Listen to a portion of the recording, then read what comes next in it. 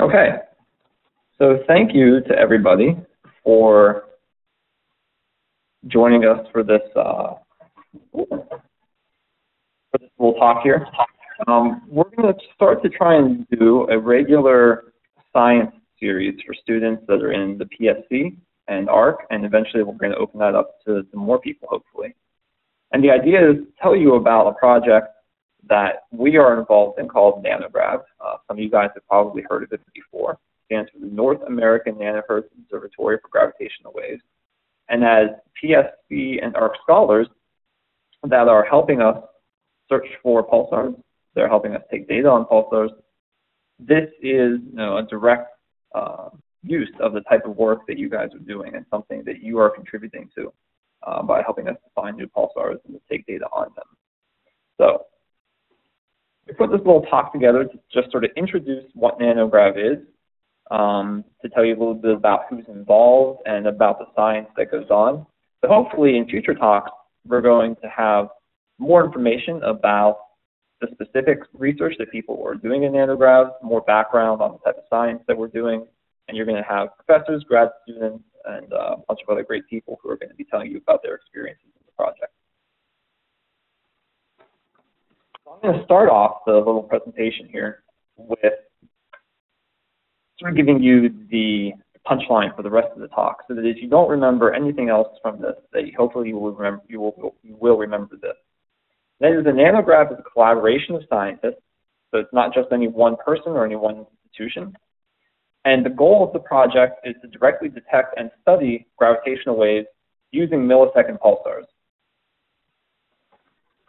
And the whole reason we want to do that is because by looking at the universe using gravitational waves, we're going to see and learn amazing new things that we would not otherwise have been able to learn um, by looking at the universe simply in the light that we see with our eyes or electromagnetic radiation of some other form. But now hopefully you guys have some questions after just hearing that little uh, introduction. Like, why is this a project which, which, is worth doing? Why are the things that, we that we uh, stand to learn interesting? Uh, what are gravitational waves exactly? Um, how do we use pulsars for this project? Um, most of you guys already know what pulsars are, but we'll have a little bit of review of that too. And what exactly are we going to learn um, by doing this nanograv project? And so these are the questions that we're going to spend the rest of the time during the talk trying to answer. So, I this very beautiful picture up here. This is a Hubble picture. Um, people have probably seen great pictures like this. And I think that when a lot of people think about telescopes, they think about images like this. And pretty much everything that we have learned about the universe, um, aside from the planets in our, in our own solar system that we have actually traveled to physically or sent probes to, almost everything that we've learned about the universe has come to us by studying things that emit light. We've also learned some very valuable information by studying actual subatomic particles like protons that are emitted by very distant objects and that interact with our atmosphere. But most of astronomy focuses on the study of light. This is a beautiful picture um, that was taken in optical light, so the type of light that we see with our eyes. But light includes more than just what we see with our eyes.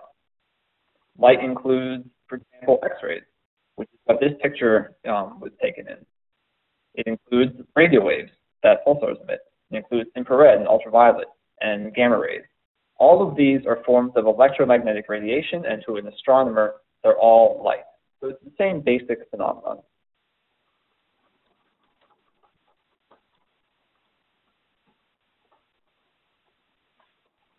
If an object doesn't emit light, then most of what we know about it we would not have any way of learning.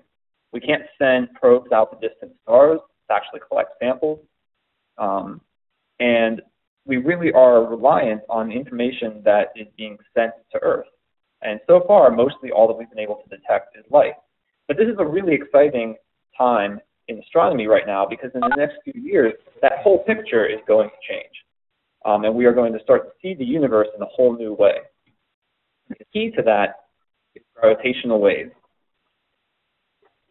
So gravitational waves really are opening a new window into our universe.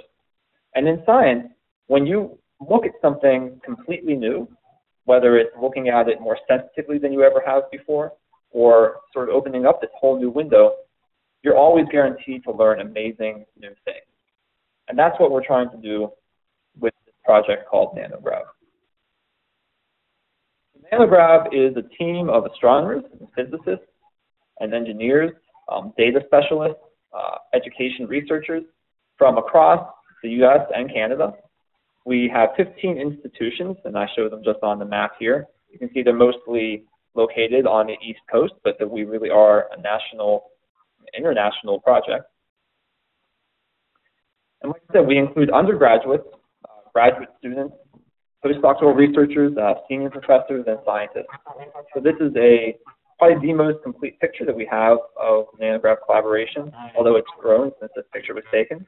Um, some of you guys might actually recognize the instrument in the background as being part of the 300 meter Arecibo telescope.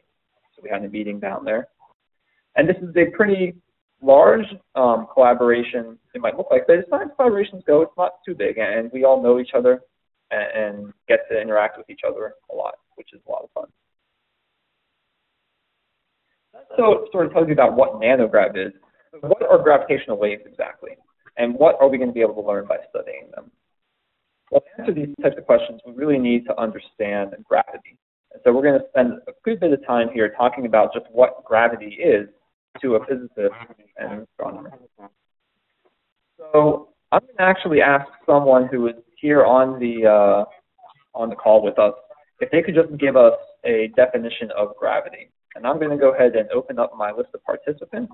And uh, Brandon, you're the first person on the list. So I was wondering, would you be willing to just sort of give us a definition for gravity in your own words? Uh, yes.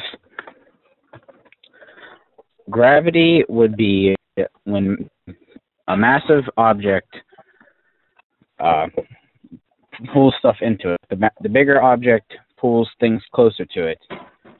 For instance, uh, the Earth pulls the moon closer to it because the Earth is bigger. Mm-hmm. Yeah, that's a really good definition, and you hit on some key points there. It also works for density too. Yep. So physicists usually think of gravity as a force that attracts two objects with mass, and I think that's basically what you were saying. It's an attractive force that pulls things together, and you were using the word that it attracts bigger things. Um, to be specific, gravity depends on the mass of the object, so the amount of matter in the object. Um, yes. Not the physical size that really matters so much for what the gravity is at a distance. Um, it's how much mass it has. And I put this little star next to the word usually because Einstein has given us another way of thinking of gravity beyond this idea of sort of an attractive force. And we're going to talk about that in a little bit. But first, we're going to talk a little bit more about the history of how we came to understand gravity. Point out that gravity does depend on both the mass and the distance, so those two quantities matter. But physicists, or I should say, what would have at the time been called natural philosophers, didn't always think of gravity in this way. This is a picture, well, a, bust of, a, a picture of a bust of Aristotle, who was, you know, of course, a very famous philosopher. And he believes that objects fell to the earth or floated to the sky because of the elements that they were made of. So hmm. fire rose to the sky, and earth or feather fell to the surface. And you notice in my little animation there, I had the rock falling faster than the feather, which is sort of intuitively what we all experience in our everyday life. And in this ancient view of the universe, the heavens were the realm of light and fire, and the earth was the realm of stone and water. So light and fire naturally wanted to rise towards the heavens. Earth and uh, stone and water naturally wanted to fall towards the center of the earth. And this picture in the background is of a sort of descriptive um, view of what the ancient view of the universe actually was, with the Earth at the center of the solar system, being orbited by the sun, the moon, the planets, and the stars. They didn't think of these objects that we see in the night sky as being anything like the Earth. They were these ethereal, um, you know, objects and bodies that were made of a different substance than what the Earth was. But of course, our understanding evolved, and probably one of the first people, or at least one of the first people that we know of, to apply evidence-based scientific reasoning to nature, actually going out and collecting information and trying to explain what you observed was Galileo Galilei, who I have in this picture here. And he advanced many ideas that ran counter to this Aristot- Aristotelian and what can be called the Ptolemaic worldview, after a Greek philosopher named Ptolemy. One of those ideas was that objects all fall at the same rate. So that if you were to drop something from the Tower of Pisa, a stone, and a feather, the only reason that the feather seems to fall more slowly is because of a familiar concept that we all know about now, which is air resistance. But if you were to go up into space on the moon, where there is no air resistance, and drop a feather in the rock, it would fall at exactly the same rate. And this is actually an experiment you can do if you have a, a tube that you can pump most of the air out of, and you can drop a feather and a penny, and you'll see them both fall exactly the same rate. So this is sort of indicative that there was something common to the Earth, not to the object itself, that caused it to fall down to the Earth and, and, and the rate at which it fell. And the final piece of this puzzle came from Isaac Newton, who undeniably is one of the greatest scientists in history. And he realized that gravity could be described as a universal force that followed a very simple mathematical law. And of course, there's this famous story, prob- probably not quite accurate, of uh, an apple falling on his head and him realizing that this was due to gravity. But really, what it was is that he realized that a force that caused an apple to fall to the Earth was actually the same force that kept the moon in orbit around the Earth. And that this could apply universally beyond the Earth well. And this was a real revolution to think about the universe as being, you know, fundamentally no different than what life is like here on the Earth. So this is an actual quote um, from Newton that the forces which keep the planets in their orbs must be reciprocally as the squares of their distances from the centers about which they revolve, and thereby compare the force requisite to keep them in the moon in her orb, the force of gravity at the surface of the earth, found us the answer pretty nearly. And of course, this is some slightly archaic 17th century language. So I kind of just rewrote that in language that I hope is a little bit easier to understand. And basically what he's saying is the same force that causes an apple to fall keeps the planet in orbit and its strength depends only on the mass of the two objects and their distance, technically so distance squared. And Newton's laws work really, really well. Explain the object, the motion of everyday objects with incredible precision. So if you have a time-lapse uh, image of a ball bouncing, and you apply Newton's laws um, to determine the path of the ball, you'll find that they agree exactly. It'll follow this sort of parabolic uh, form it has both horizontal and vertical motion. The existence of the planet was actually predicted using Newton's laws. They saw a discrepancy in the orbit of planet Uranus based upon what Newton's laws are predicting, and they were able to tell that it was because of the gravitational influence of an undiscovered planet. They were even, even able to tell where to look for that planet in the night sky by studying the orbit of Uranus. This was a huge confirmation for uh, Newton's laws. And people talk about science and how rocket science is very hard, and it, certainly it, it's not easy to launch a rocket into space. But the physical laws that you need to understand to launch a rocket into space and to reach a target hundreds of million miles away are basically just Newton's laws. By the late 1800s, scientists were starting to find situations in which Newton's laws didn't seem to work quite right. The most, most famous of these is the precession of a planet's orbit. And so I have this little uh, animation here on the screen showing what this concept of precession is. And basically it shows that in time, a planet will go around a body like the sun, but the angle of the orbit will actually change.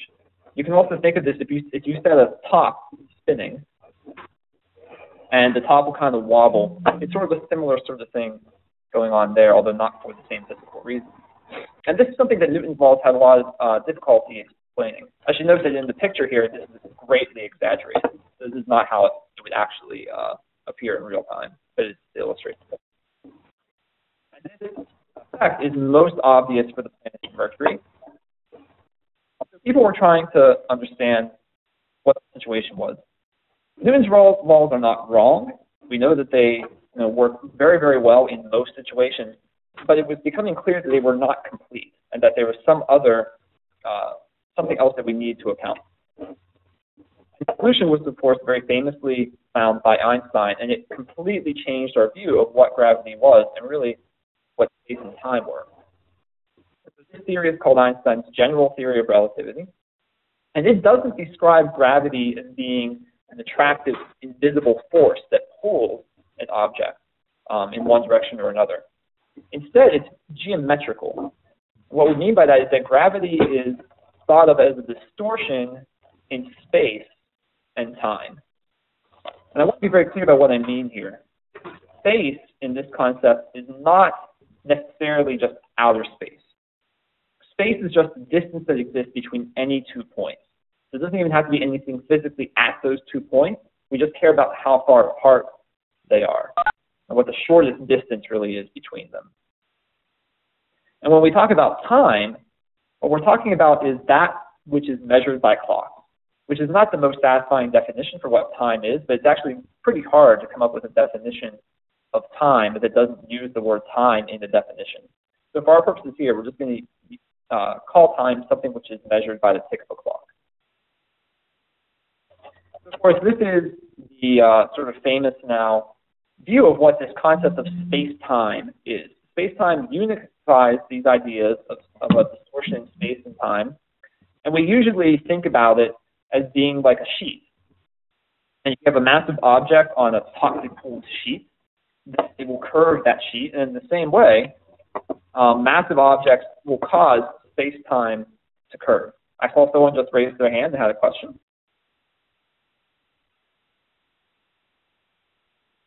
I believe it was Timothy. Can you hear me? Yep. Okay. Um, I'm. I was just gonna say that I've seen this particular illustration before, and I just want to clarify that those lines that are being distorted by the math are not actual physical lines. It's bending in a dimension that we don't see in our four our four dimensions, right? That is the bending of space time, which doesn't actually look like that. Just, just right. Yeah, so I'm going to get to this in just a second. Um, this is an analogy that takes our three-dimensional universe and tries to make it easier to visualize by representing it in two dimensions. So obviously we don't live on a flat sheet. We live in a three-dimensional mm-hmm. universe, and I'll try and show you what a visualization of space-time is um, in that regard. But the lines that are drawn here are just sort of meant to guide the eye and represent the distance between any two points. So this is this is illustrative, which is a good point. I got you. So basically, how far the um, the depression is from where it would be is, showing an increased um, actual value of the gravitational force. Yeah, that's exactly right. The stronger the gravity, the, the greater the distortion. Okay. And okay.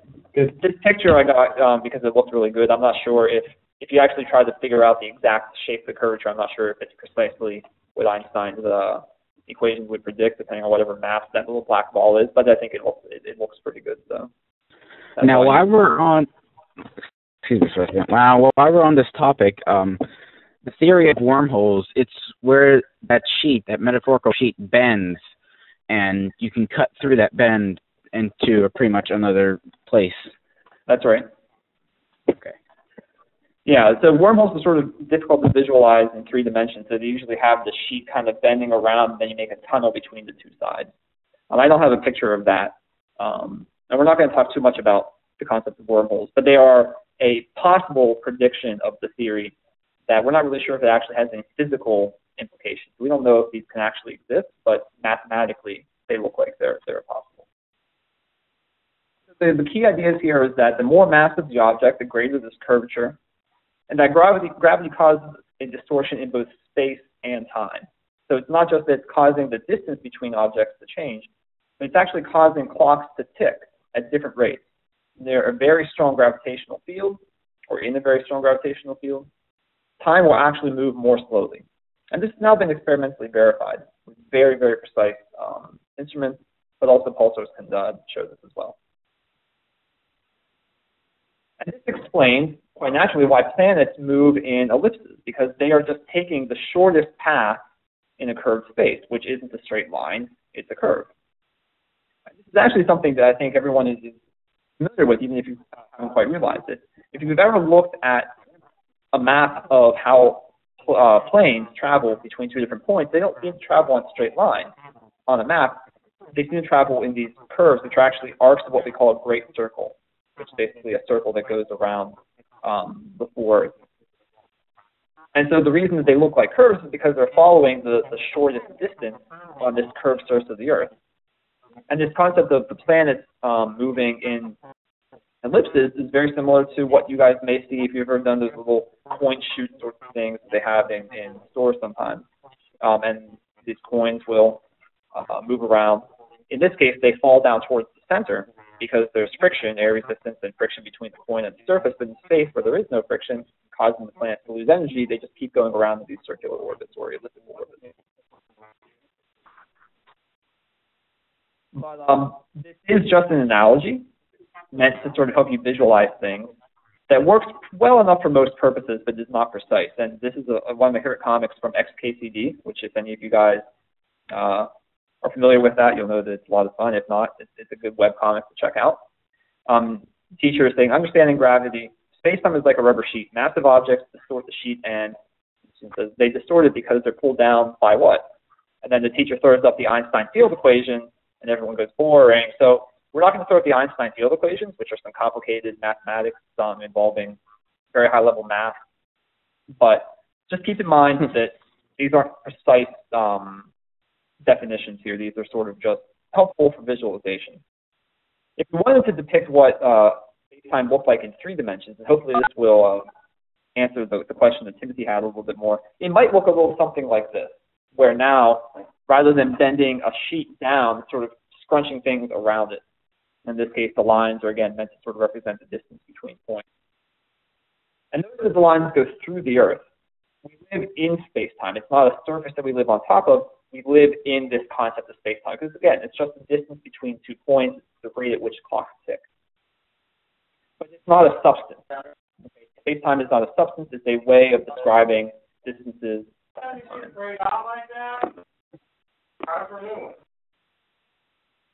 Okay. I got to get you a dentist appointment too. Um, can I ask um, that everybody just mute their microphones if they don't have a question to ask? I'm, I'm hearing uh, some background. And you can just find the mute button for your microphone in the corner of the WebEx window. What about tomorrow? Okay. So general relativity passed its first test by correcting, correctly predicting that light would follow a curved path near a very massive object. And so this was the very famous test, which during a solar eclipse um, they looked for a star which should have appeared to be behind the sun, but actually appeared next to the sun because it was the path was curved and we were able to see it. Um, the picture down at the bottom shows sort of uh, schematically what's going on, although the curvature is much, much uh, smaller than what's depicted there. And then the actual picture during the solar eclipse is shown in the left. This was uh, carried out by Frank Dyson and Sir Arthur Eddington in 1919. You may not see a star in that picture, um, so it took a lot of uh, you know, careful analysis.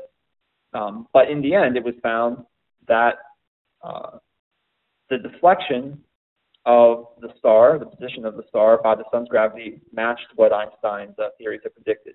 And so this was the first uh, real experimental test of what was a very revolutionary idea. And I saw Timothy had a question again. Yeah, I don't want to slow us up. Um, and no, I, fine. Questions good. I understand um, the actual theory of what's trying to be put forward, but could you explain the picture in the top left? What exactly we're we're seeing? Like what what exactly the cur- curvature is being portrayed as? Yeah, you mean the picture down here at the bottom? Uh, no, I mean the one on the top left. How exactly um, they can tell that I mean, if you could just explain that in more depth, I'm kind of sure. fuzzy on exactly what I'm seeing in the top left corner. Sure, sure, sure. So this is just an actual photograph um, that was taken during solar eclipse. So here's the, the sun. It's being masked out by the disk of the moon, and you're seeing the solar corona. If anyone's ever seen a picture of a solar eclipse, um, a more recent one, then this picture will look somewhat familiar. And what they were basically looking for here was a star that its position relative to other stars in the sky is known. Um, but the prediction is that when the sun gets near the star, the position of the star should appear to change slightly because the light is being bent and deflected slightly by the gravity of the sun. And it's a very similar concept um, in some ways to how light is bent coming out of water, so that if you, um, you know, let's say that you're a spear fisherman. I don't know if anyone's ever tried that. I haven't personally, but uh, if you are, um, if you try and spear the fish where it appears to be, then you're going to miss because the light is actually being deflected and the fish is, appears to be in a different position than where it actually is under the water.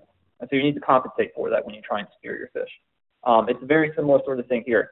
The light is being bent by the gravity of the sun, and so the position of the star appears to change relative to the stars that are far away from the sun and, are, and whose light is not being deflected by its gravity.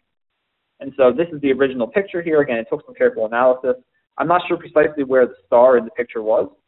Um, you can see a couple things that look like stars here, but again, this is in 1919, so I'm not sure how much of this was uh, artifacts of the photograph. But that's what they were actually looking for, was an apparent shift in the position of the star. And the reason they had to wait for a solar eclipse is because when the sun was out, you wouldn't actually be able to see the stars against the brightness of the sun. Does that answer your question? I, I believe so. It, my question wasn't really all that, I guess, important. I was just trying to understand what exactly they were looking for, but you answered my question for why they need a solar, solar eclipse. And right. I'm, guess, I'm guessing they're looking for um, a visual representation for the star that is different from the one they know it to be mathematically. Is that what I'm? Am I correct in that? Well, it's it's more um, that they were looking. So if you go out and you look at night and you map where the stars are, um, you can measure their positions relative to each other and you, on, on some coordinate system. We technically we call mm-hmm. that right ascension declination, but it's very similar to latitude and longitude on the Earth. Mm-hmm. Um, and that's when the, the sun is in the opposite part of the sky. And so the gravity of the sun is not deflecting the light from the star. I see. So I when get the sun is and the star appear to be close together in the sky, the light from the star is being deflected by the sun, and you're seeing an apparent change in the position of that star relative to the other stars around it, and that's what they were trying to measure, and did measure. I see. Okay, I got it. I'm good. Great. And the uh, questions are fine. Um, please don't hesitate to ask. Okay. Since then, the predictions of general relativity have been tested many, many times with incredible precision. Uh, pulsars have been used in particular for many of these tests. And each time, general relativity has passed those tests with really amazing accuracy. We have still not found a place where general relativity appears to break down in the same way that we are able to find um, places where Newton's laws of gravity did break down. Now we can start to answer this question of what gravitational waves are. And so we're going to go back and we're going to use that visualization. It's, remember, it's an imperfect visualization, but we're going to use it anyway, of the sheet um, that represents space-time. And in that visualization, you can think of gravitational waves as distortions of this sheet of space-time. And these gravitational waves travel out and they repeat. That's what makes them waves, the fact that they repeat in some fashion. And it's basically very similar to the ripples on the surface of a pond. And so you can think of them as being ripples in space-time. And so here is sort of a, uh, a visualization of what that would look like. In this case, we have two black holes which are orbiting each other, and that's what's causing these gravitational waves. This is a prediction of general relativity, that when certain configurations of mass accelerate, they will create gravitational waves. Um, a perfectly spinning you know, a perfect sphere which is just spinning is not going to create gravitational waves. Um, in sort of the same way that if you had a perfectly smooth ball of some sort floating in a pond and you spun it, it wouldn't really create very many waves. Um, but if you had a dumbbell shape where the uh, two ends were offset from each other, that would create waves in the pond. And in the same way, um, that type of a configuration of mass, which is represented here by the two black holes, can create gravitational waves. And they should, according to Einstein's theory of uh, relativity, travel outward from the from the object at the speed of light. Uh, yeah, another question? Uh, yeah, is is there a, an easy explanation for why gravitational waves travel the speed of light? Or is, is that just because they're waves and like many natural uh, constants travel the same speed as this, uh, a light wave? Yeah, so it has to do with basically what we call the messenger particle. And this is starting to get into a different different realm than what we're going to really talk about here. But just briefly, we can describe forces in quantum mechanics as being uh, carried by particles. The, we call these messenger particles. Photons are the messenger particles for the electromagnetic force, and, and they also happen to be um, what, what carries light. And so that's something that people are typically familiar with.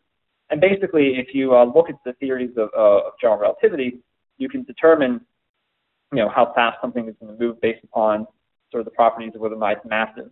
Uh, photons, and in the case of gravity, something that we think are called gravitons, are massless, and so as a consequence, they travel at the speed of light. Got it. The actual effect of a gravitational wave, let's say the one is passing through you, is going to be a shrinking and a stretching of space-time. And so the little animation here on the right shows these particles, which if there was no gravitational waves, they would just be two circles, evenly spaced. But as this gravitational wave passes through, it causes them to shrink in one direction and stretch in the other. And it causes a change in the relative length of the objects, or relative, um, a relative change in the distance between any two points. And so that's what a gravitational wave observationally would look like. And if gravitation, excuse me, if gravitational waves were very strong, you could just set out um, some of these what we call test particles. Um, they would be they would not have to be being affected by other forces. Um, so you could put them out in space and let them in, um, stay in free fall, and you would actually be able to see this uh, deviation here. But in fact, gravitational waves are not. Uh, well, I was ask a question about that later, but we'll see just how weak they are and how small they are in just a second. So gravitational waves have never been directly observed. Never, we've never directly observed that actual shrinking and stretching of space-time, but we have very good indirect evidence for their existence. Gravitational waves should carry energy away from a system. And we've actually seen this uh, observationally as binary neutron stars, in this case it was a pulsar and a neutron star. Um, the distance between those two objects, the orbits around each other, uh, shrinks and using a technique called pulsar technique called pulsar timing, we can measure this. And this is a kind of a, a technical plot, but we just have here um, in fancy, this is fancy language for basically how far apart the objects are um, from some baseline. So we're, we're, we're calling a zero here just the reference point. They're not actually um, separated by zero distance there. And this is time in years, and we actually can measure that they're getting closer and closer together as time goes on. Um, and this, these, these black dots are the actual data points. They, there are error bars on those data points, but they're so small you can't actually see them. And the black line is the prediction of general relativity. It's not a fit to the data. It's just the prediction of general relativity, and you can see that it matches exactly. And for this particular uh, system here, this was um, the most uh, precise test of general relativity at the time and actually won the Nobel Prize in 1993 for this experiment. We think that lots of objects should be emitting gravitational waves right now throughout the universe. And many of these objects we don't think will, will emit any detectable light, or they may not emit any light at all, uh, such as, for example, black holes. And so gravitational waves may be the only way that we have to learn about them. And this is really what makes the study of gravitational waves so powerful and what I mean when I say that they're opening a new window on the universe.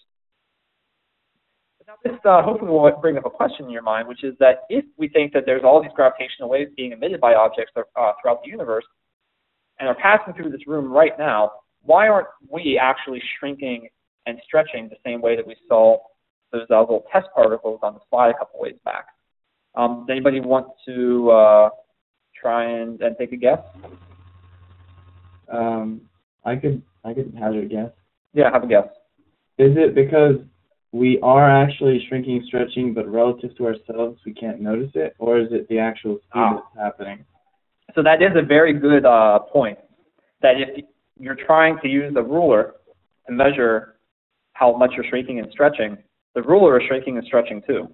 So that's an excellent point. You need to have um, a different, what we call differential measurement. Um, and there are ways that we can that we can do that. Um, happens so happens that the shrinking in one direction uh, and the stretching in the other direction happen perpendicular to each other. So we can measure it that way. And so there is that that uh, slight complication, which is an excellent excellent observation.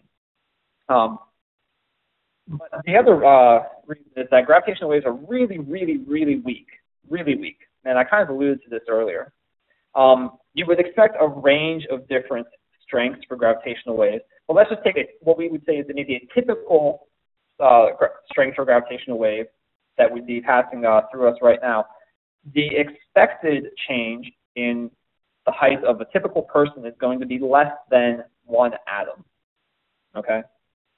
So how do you measure something like that? I mean, it's extremely, extremely difficult. And again, this is there, there's some gravitational waves are going to be a little stronger, depends on how close you are. But this is sort of just it gives you a sense of what might be typical uh, for sources that are passing through the Earth. And I saw someone else had a question. Yes. So if you were closer to, like, let's say a black hole, I know you wouldn't get very close to them, but would the gravitational waves be stronger there? Yeah, gravitational waves, the the the, the strength of gravitational waves um, would be stronger. Um, I don't know exactly how much stronger though. So it would it would go as the distance. I think I think it was well. I'll just say that um, they would be stronger, um, but they probably still would be. Uh, yeah, we'll just leave it at that, maybe. Okay, another question, Timothy? Yeah, it was just a related question. Do black holes carry mass, and is that why they attract gravity? Yep. Yeah, exactly. Black holes carry mass. And th- so, as they take in more mass, does their mass increase? Yep. So if a black hole swallows a star, it gains the mass of that star. Exactly. And I'm trying to remember the name of the point, but all of that mass goes into an infinitesimally small uh, point. Right. We call that a singularity. Singularity. And how is that physically possible? Well, that's a good question, and that involves physics that we don't quite understand yet. It requires a uh, a melding of quantum physics and general relativity, and those two theories seem to be incompatible based uh, upon our current understanding. And so, this is actually an active area of research. One of the ways that people are trying to unify these theories is through uh, string theory, for example. Um, how, how would string theory pose a solution? Um, well, one of the things is that, you, as you said, it, general relativity predicts that things would um, fall to an infinitesimally small point. Um, but you know, a, a, point of zero size isn't really physical. Um, so string theory, um, which posits that you know all all particles, all you know, everything in the universe is, is made up of these uh, strings of energy that have some sort of uh, finite length, which sort of provide, I guess, a, scale below which um, you know, the singularity nature would no longer matter. Um, but it's still an active area of research, that for sure. I understand. Yep. So, another bigger question is if gravitational waves are so, uh, so small, how could we ever hope to actually measure them? And there are several different techniques, but NanoGrav is using pulsars. So now we're going to get back into pulsars. I know that a lot of you guys already are familiar with pulsars, but we're just going to go ahead and uh, do a very brief overview. This is the typical picture of a pulsar everyone shows. You have a neutron star at the center. It's the remains of a dead star that was more massive than our sun to end its life as a supernova. They have these extremely strong magnetic fields. They spin very, very quickly. In the case of the fastest millisecond pulsars, they spin hundreds of times a second. And they emit beams of radio waves from these magnetic poles. So we think of them as these interstellar lighthouses. And each time that the radio beam tw- points towards the Earth, we see a pulse of radio waves, and that's where their name comes from. It's really more of a flash um, in some sense, but the name has stuck. So, as many of you guys already know, pulsars are some of the most extreme objects in the entire universe. Um, they have a typical mass of about uh, half a million Earth masses, but it's squeezed into a size which is the region of a large city like Manhattan. And equivalent density is like squeezing the entire population of the Earth into the size of a sugar cube. Um, which basically makes them like city-sized atomic nuclei in terms of the density. They have um, gravity, which is actually approaching pretty close to that of a black hole at their surface, and they're spinning as fast as a kitchen blender. Magnetic fields are um, into quadrillion times stronger than man-made magnets, the strongest man-made man-made magnets that we that we have. And if you were to put a pulsar at the distance of the moon, of the moon, uh, the gravity of having something that that massive so nearby would rip the Earth apart. But magnetic field would also erase all of the computer hard drives and credit cards on the Earth because it's so strong. So a very extreme object. Of course, there's a special class of pulsars called millisecond pulsars that spin incredibly fast, hundreds of times a second. And they tick. If you want to think of each pulse that we see as a tick on a clock, which is exactly how we're going to think of them, then the stability of that tick rivals that of atomic clock. And so it's like having an atomic clock in some of the most extreme environments that we find in the universe. And they're great tools for studying a wide range of physics for exactly that reason. Again, because of this clock-like nature. Just as an example to give you a sense of how precise that is, at 5:30 p.m., which we a little bit uh, a little bit ago now, maybe like 10 minutes, on May 5th, 2013, the period of the millisecond pulsar J0437-4715, which is the pulsar with the most precise uh, measured rotational period, is or was 0.005757451937 seconds minus that. And so all of those digits are significant. You guys have talked about significant digits in school yet you know, you don't just keep quoting decimal precision out to some arbitrary value, but that's the actual uncertainty on that measured period. They're incredibly precise. And the idea for using them to detect gravitational waves is actually pretty similar to that of global positioning systems. So the global positioning system works by having a network of satellites surrounding the Earth that basically transmit a signal that we can use to determine uh, their location relative to, to some uh, receiver, so the GPS in your car, for example. By using this network of satellites, we can tell very high accuracy where you are on the Earth. The tips of the pulsars let us use them kind of like a cosmic global positioning system. We can actually measure tiny changes um, on the Earth or at the telescope that we use to measure them by observing pulsars. This is the schematic for what we call a pulsar timing array. And this is what we're trying to use to detect gravitational waves.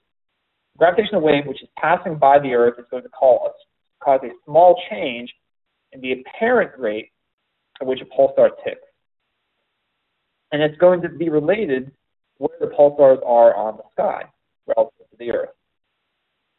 Be sure that this apparent change in which the pulse rate at which the pulsar is ticking is real, we look for a what we call a correlated effect between many different millisecond pulsars.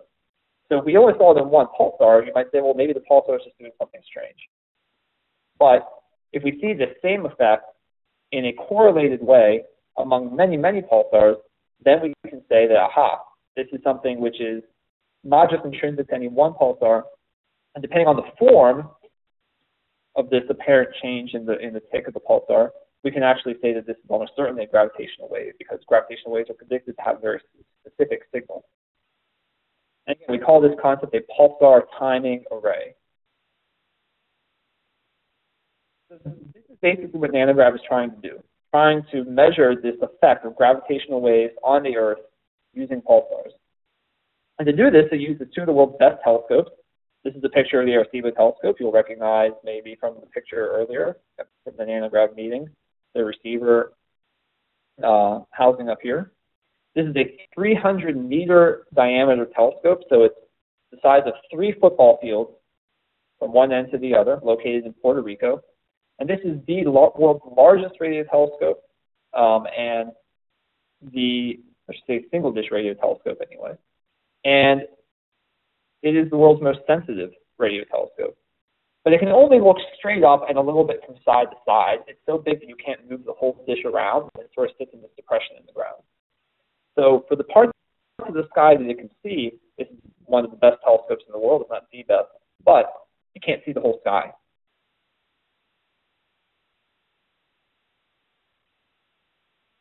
The entire sky, we use the 100 meter Green Bank telescope in West Virginia, which is a, another telescope that many of you guys will be very familiar with. This is the world's largest fully steerable telescope.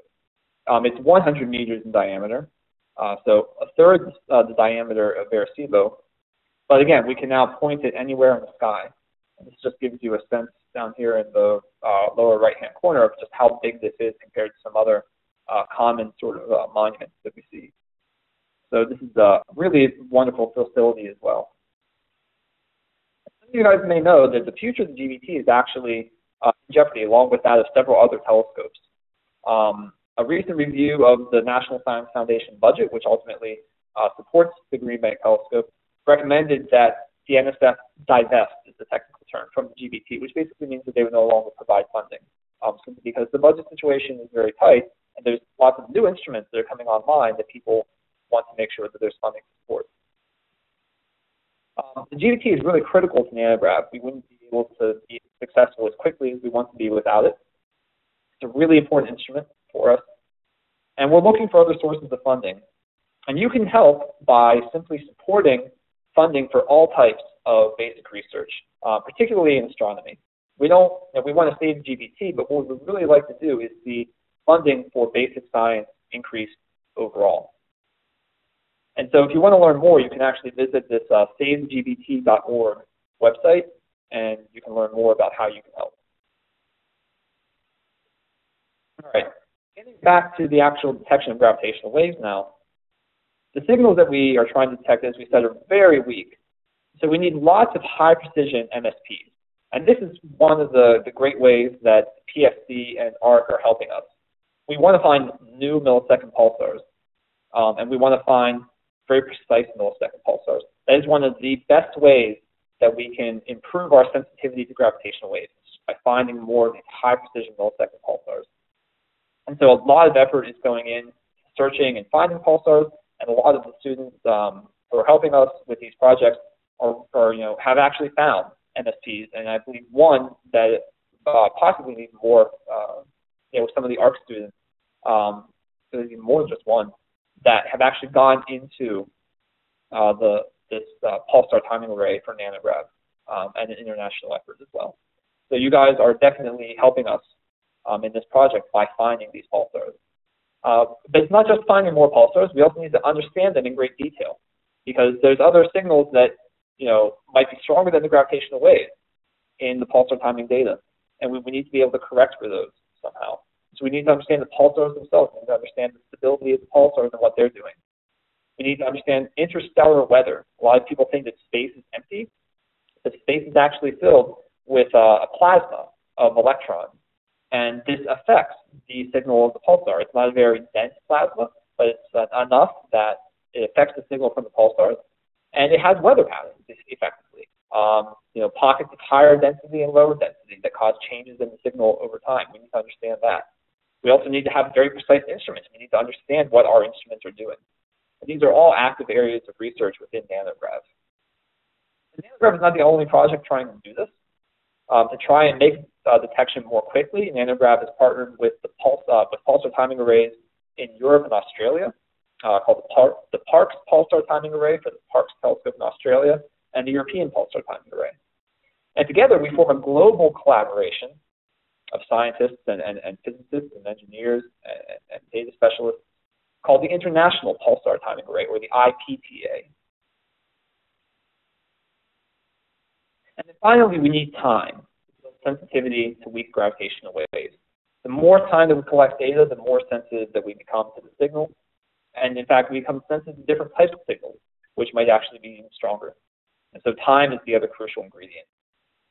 But we believe, optimistically, we hope, that within five to 10 years, we will have successfully detected gravitational waves using, uh, using a pulsar timing array. But detection is only the first step. We want to do more than just detect these gravitational waves directly. So what sorts of things will we discover? Well, one thing, merging supermassive black holes, And I have a little video here that is going to show what this uh, the merger of two supermassive black holes at the centers of galaxies uh, would look like, um, showing also trying to show the effects of the gravitational waves.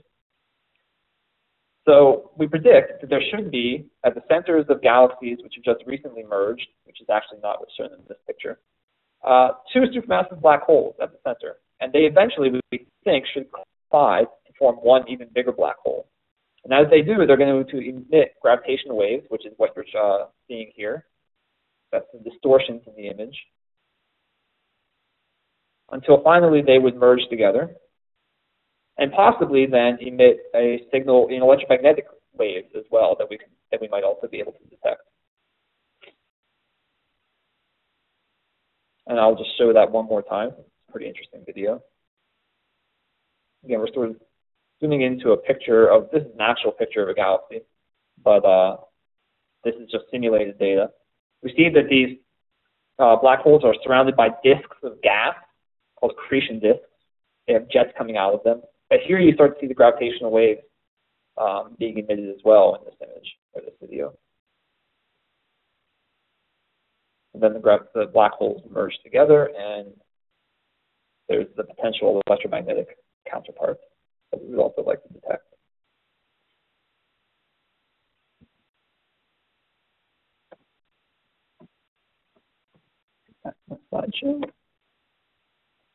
So that's one potential source of gravitational waves that we hope to study.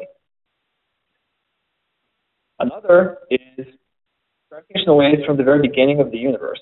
Our current understanding of the Big Bang, which is the, the current best model that we have for um, explaining how the universe came into existence, predicts a period that's called inflation.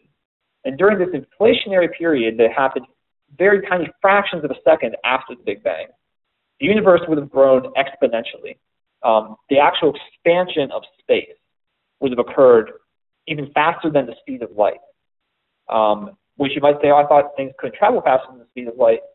Um, the key here is that space itself can expand faster than light, but no information can be carried between those two points that are moving apart because they're moving apart faster than light. And, and you cannot transmit information faster than the speed of light. That is the, the key sort of speed limit there. And we should be able to detect relics of this inflationary period in gravitational waves, which would be a, a great tool for understanding what the uh, physics of this inflationary period is like, if it even happens. We don't, you know, we have some very good reasons to believe that inflation happened, but this could be a, uh, you know, great observational confirmation um, of that. That would be really, really powerful.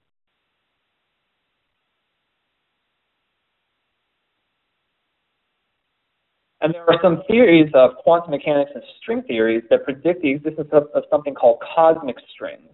And these are very, very large in extent um, regions of space-time that are basically wound up very, very tightly. And they have an incredible effective mass, or, or be more precise, energy density. And pulsar timing arrays may be one of the best ways to detect and to test these ideas. We don't know if these types of cosmic strings actually exist, but it's, uh, it's a the prediction of some theories. And so uh, pulsar timing arrays can be a great uh, either confirmation or uh, um, uh, proof that they don't that they that they don't exist. And that's all Timothy has uh, raised a hand. Yeah, do you mind me asking about uh, cosmic strings for a sec? No, go ahead. So, are cosmic strings along the same lines of string theory, where there's extra dimensions to house the the the strings themselves, or is this certain pockets of space-time, like different like places in the universe where this is an anomaly? Yeah, so I think that they may be um, con- certain certain string theories might predict the existence of cosmic strings, but they're not the same thing as those little tiny vibrations of energy that make up subatomic particles. They're more akin to uh, pockets, like you were saying, um, although they would they would be very very uh, large in one dimension. They would be very long in one dimension, but they would be basically almost one dimensional um, around, so almost like a line of very very high energy density. Um, the technical term would be a, a topological defect. It's almost like someone took that that fabric of space-time and wound it very very tightly um, along one dimension, um, creating what effectively is a very large mass. Um, I don't know if it has exactly something to do with the extra dimensions or not. Um, but we have a, a person in NanoGrav who is an expert on these uh, cosmic strings. And so maybe we can try and get to give a talk to you guys and he can tell you a little bit more about them because it's not something that I'm super familiar with. Yeah, that sounds very interesting because it seems almost as like kind of a ray. If you're saying it's only in one dimension, it seems like it's a ray of compacted space-time, which I have absolutely no idea where that would come from. So I'd be interested. Yeah, but I think I think that that's probably a pretty good way of, of visualizing it. Um, yeah, but where how that forms is a whole other question. So. I understand. Thank you. But I think one of the most exciting possibilities for pulsar timing arrays is the things that we don't know about and don't even have predictions for. Because throughout the history of science, every time we've opened up new frontiers, we have, you know, found amazing new things that we weren't predicting. And I think that with gravitational waves, we're going to see things that we didn't predict as well. And that's going to be very, very cool. Now, NanoGrav and the International Pulsar Timing Array are not the only experiments that are trying to detect gravitational waves. Uh, there's an experiment called LIGO. It has two locations, one in Louisiana and one in Washington State. And it's using lasers to try and measure the distance between two points on these arms, these perpendicular arms, that are many kilometers long. And this is an actual picture of the LIGO site in Louisiana. So hopefully you guys can see my mouse cursor here. And there's one arm that goes off in this direction towards sort of the upper left of the picture, and another arm which goes off in this direction towards the right. And there's these lasers that get bounced back and forth between these cavities. And basically, by, uh, by looking at how these, these lasers, the light from the lasers, constructively or destructively interfere with each other, and this has to do with the wave nature of light, we can measure the, the, the length of these arms very, very precisely. Because they're perpendicular to each other, we have this differential measurement between the, the two arms. Um, and we can uh, hopefully detect gravitational waves that way. But they are sensitive to different sources of gravitational waves and pulsar timing arrays. And so they're doing complementary science. Um, certainly, LIGO and its uh, you know, sort of uh, similar projects in Europe called Virgo and Geo, and there's one in uh, Japan, I believe, called uh, Tama. Um, they would love to make the first detection of gravitational waves. So with the, the people in the pulsar timing array community, that would be really cool. But no matter who makes the first detection, we're going to be studying different things. And so the, the types of science we're doing are complementary to each other. And this is just, uh, again, saying that when we do make this first detection, it's going to start a whole new era of astronomy and of our study of the universe that I think is going to be very, very exciting. And of course, this is something that you guys are already very familiar with. You can help for this. Um, there are already students on, on the call here that are in the Pulsar Search Collaboratory and the Arecibo Remote Command Center. Um, they help us search for pulsars. Uh, some of you guys may also be aware of a program called Einstein at Home, which you can download basically a little uh, app for your computer that runs in the background, similar to the SETI at Home project, that helps to analyze pulsar data and help find pulsars just using spare cycles on your CPU. And that's a very uh, you know, useful project that you can basically do with just a few clicks of a button and then just let it run on your computer. It doesn't take any more work than that. And of course, vocally supporting funding for basic scientific research is, is, a, is a, you know, another great way to help because you know, these projects, uh, I think, have really great value. They're, they're not very expensive in, in the grand scheme of, of you know, national budgets and that sort of thing, but funding situation is tight. Um, so we can always uh, use more support for that. This is just sort of my last slide here to summarize. You know, I think this is one of the most exciting times in astronomy um, because we are going to be starting off in this new era. And NanoGravs and other projects like it are on the verge of opening up this whole new way of looking at the universe. And I think that when we do that over the next few decades, we're going to learn some amazing things, and we're also going to have some, some really awesome surprises. And so I'll say thank you. You can learn more uh, by visiting any of these websites, nanograv.org, ipta4gw.org. I encourage any of you guys who want to to follow NanoGrav and the IPTA on Facebook. This is a great way to stay very up to date with whatever is going on in the project. We have podcasts that we're recording, YouTube videos that are instructional. We uh, like to post links to interesting stories that we find. You can follow us there. EinsteinAtHome.org. And of course, you guys are already familiar with Pulsar Search Collaboratory and ARC. And then I have the stateofGBT.org website up there as well. And then again, just finally, um, we really appreciate if you guys give us feedback about this talk and about future uh, seminars. And so I will I will post this link um, again in the chat window. Uh, for anyone who came in late.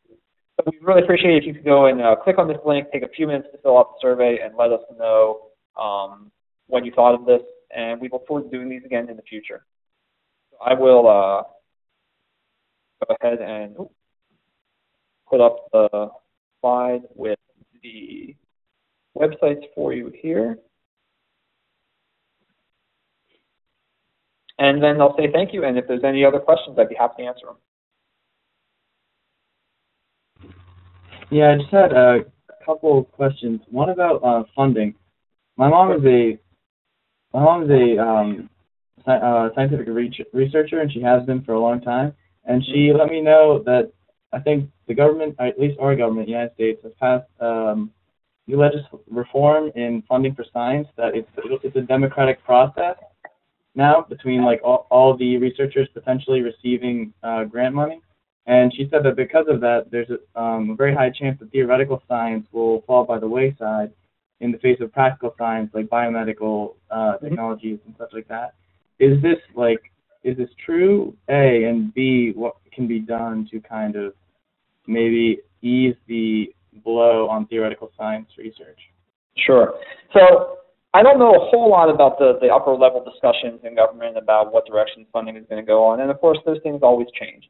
So I don't want to say anything firmly, um, but there certainly, I think, is an attitude that we want to be supporting science that has practical application. And one of the questions that people will always ask uh, as an astronomer is, well, this is all really interesting, but, but what does it matter? How does it affect my life? And this is uh, really a question, a larger question about what we call basic research in general. Basic research is, basic, is research that isn't done for a specific application. Um, at least that's not the primary reason. It's really done for curiosity's sake. But that doesn't mean that basic research doesn't have value, because it really is the foundation upon which applied research um, is built.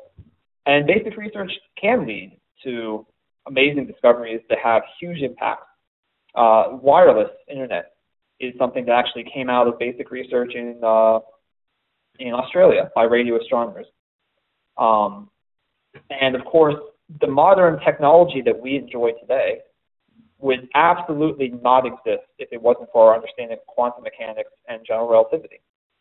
But at the time that general relativity and quantum mechanics were first being developed, they were not trying to think of ways to build computers and microchips or GPS. They were just trying to answer basic questions about how the universe worked. It was curiosity driven. And it was only after those revolutionary discoveries were made that people started to really realize just how much of an impact this could have practically.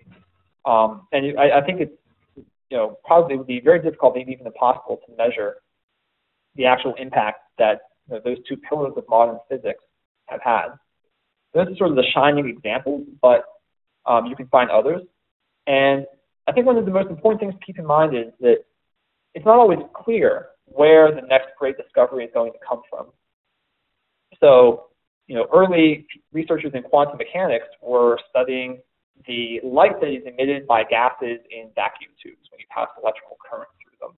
And that may not necessarily sound like something which is all that amazing and interesting at first, but the implications ended up being, you know, world changing.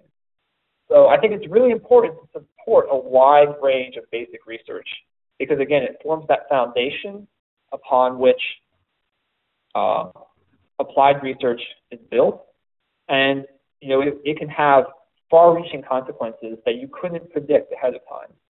At the same time, it's important to, to you know, be selective about the types of projects you fund. Um, you don't just want to be throwing uh, valuable resources at anything that comes your way. And that's why in basic research, we have a competitive process. So if you want to uh, you know, fund a project, you have to apply for funding. And then people ask, okay, what kind of science are you doing? You know, what is your track record for success? Do you have a good plan for, for you know, achieving the goals of your project? You know, are these types of goals things that people are interested in? And so it is a competitive pro- process, and there is a certain democratic nature to it in that regard. But I think it's really important to continue to fund uh, these types of things in a responsible way. In terms of how you can increase funding, um, you know, since most funding does come from uh, government sources, obviously, uh, you know, the way you vote and getting in, touch with uh, representatives and senators um, is, is, very important. Um, there's also foundations, private foundations, um, that support uh, basic research. Um, a lot of the times these are set up by you know wealthy philanthropists, but you can still just sort of show support for the sciences in general by telling your friends about what's going on and just trying to remind everyone how important this type of research is and, and, and that it is worth doing. And just that attitude alone, I think, is one of the most important things that, that you can do is just to contribute to an appreciation for for science in general and for research that is curiosity driven. So if I understand That's the end of my my, my little uh, soapbox there. no, it well it good point. Well taken.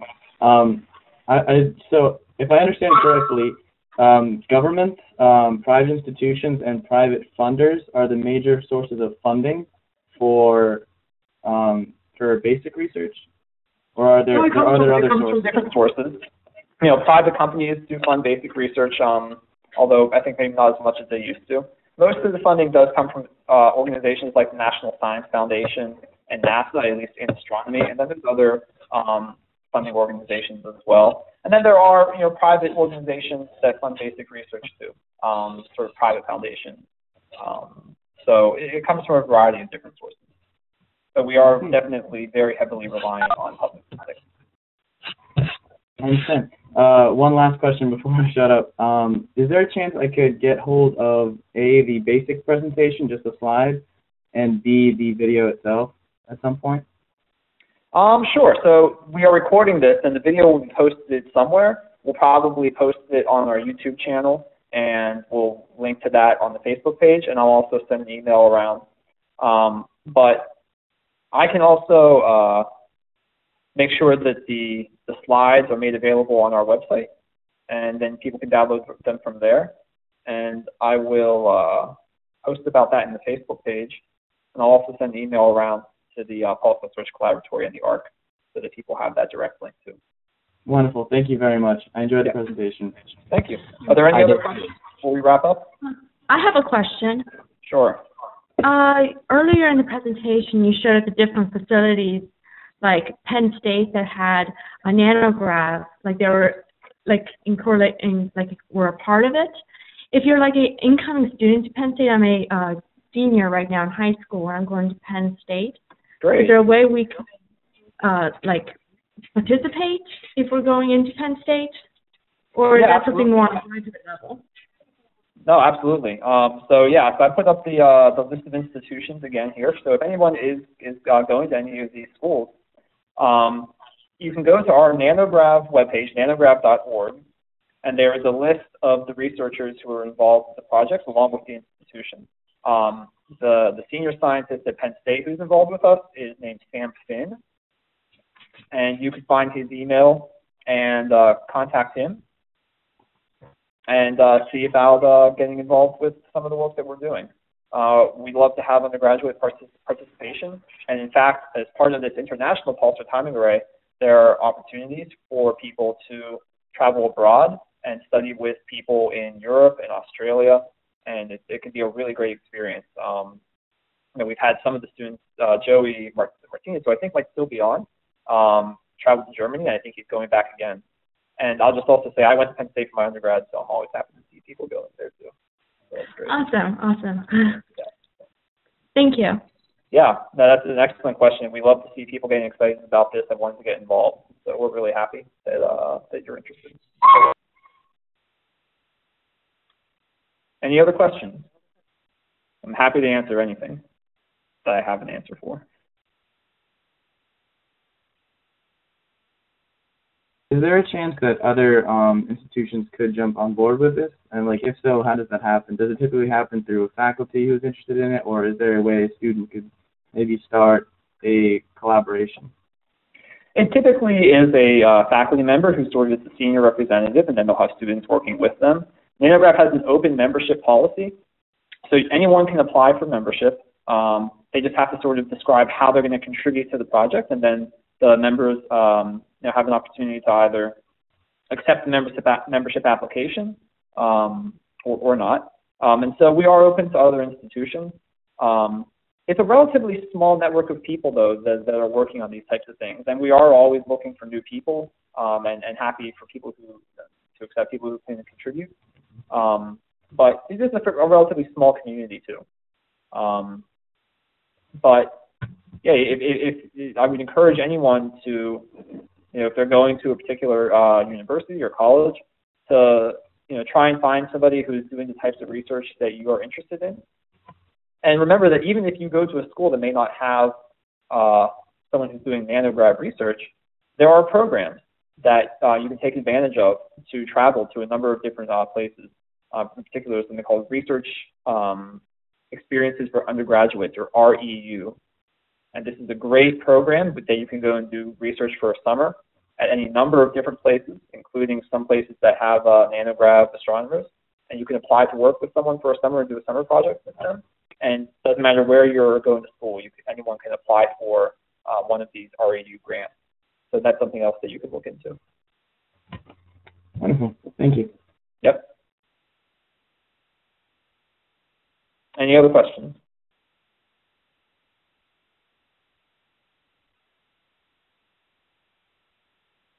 All right, well, in that case, I want to thank everyone again for uh, tuning in. We're going to have another one of these uh, seminars probably within the next few weeks here. Um, we'll probably usually have them on Mondays. Uh, there was a conflict yesterday, or, or rather tomorrow, that we uh, weren't able to do it. Um, I understand that that's when some of the PSC uh, seminars have typically been. But uh, we'll be flexible on the times, and we'll see who can attend and when. And I hope that you guys will tune in for that. I hope you guys will, uh, you know, tell your friends to, to sign up as well. And again, thank you for joining in. You guys had a lot of great questions, and I really enjoyed doing this.